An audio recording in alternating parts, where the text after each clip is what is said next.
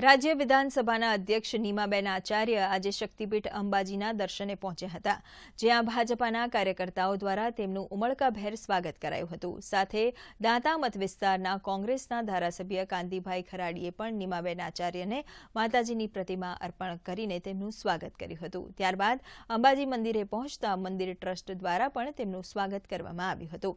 નીમાબેન આચાર્યએ મંદિરના ગર્ભગૃહમાં માતાજીની આરતી કરી માતાજીના આશીર્વાદ લીધા હતા.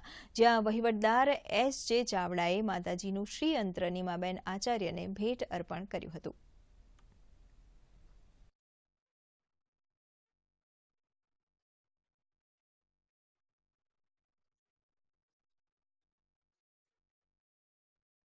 ગુજરાતની સમૃદ્ધિના, લોકોના, નાના મોટા પ્રશ્નોના આયોજન થતા હોય, કાયદાઓ બનતા હોય, કાયદાઓમાં સુધારા થતા હોય અને ગુજરાતની તમામ પ્રજાની સલામતી, સમૃદ્ધિ અને સ્વચ્છતા માટેના જે કાર્યો જ્યાં નક્કી થતા હોય એવી વિધાનસભા એકસો બ્યાસી સભ્યોવાળી, એની જવાબદારી જ્યારે મારે સિરે મૂકી છે, ત્યારે પહેલા આશીર્વાદ માતાજીના હોય તો જ થાય.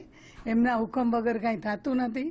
અને આજે અહીંયા તરત જ બે દિવસનું સત્ર પતાવીને આજે માતાજીના ચરણોમાં આવી છું ને મેં પ્રાર્થના કરી છે કે સૌની માં રક્ષા કરે અને સૌને ખુશાલ રાખે.